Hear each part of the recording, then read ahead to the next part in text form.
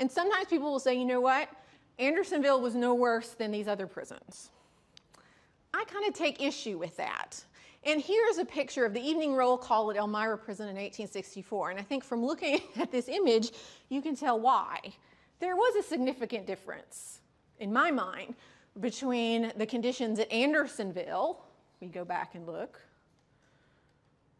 right? And what you see at Elmira. Number one, there's a lot more built structures or barracks for the prisoners uh, to stay in. Now, Elmira suffers from the same kind of overcrowding, which I'm going to explain and why that is in just a few minutes, that Andersonville does. So there are far more prisoners in Elmira than they could actually properly house. So you can see in the back they set up tents, and a lot of the men do in fact live in tents rather than you know uh, actual housing.